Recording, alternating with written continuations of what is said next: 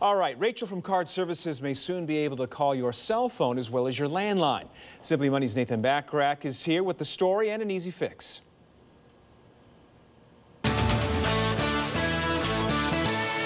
The same budget deal that took a government shutdown off the table now comes with a sneaky little clause hidden in it. And that 80 word clause now allows debt collectors to robocall your cell phone if you owe money on a student loan, a mortgage, or any debt that's backed by the feds. Debt collectors say that they need to call cell phones in order to collect those debts since many younger Americans don't have landlines. Here's the problem debt collectors often harass the wrong people. More than 20,000 Americans have filed complaints since 2013 saying that they have been harassed over debts that they didn't owe.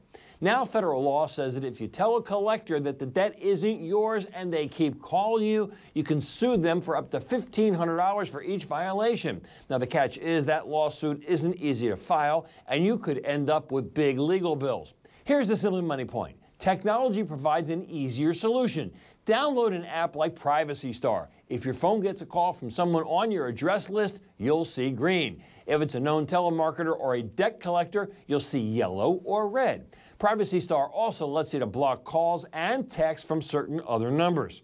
For Fox 19 Now and Simply Money, I'm Nathan Bachrach.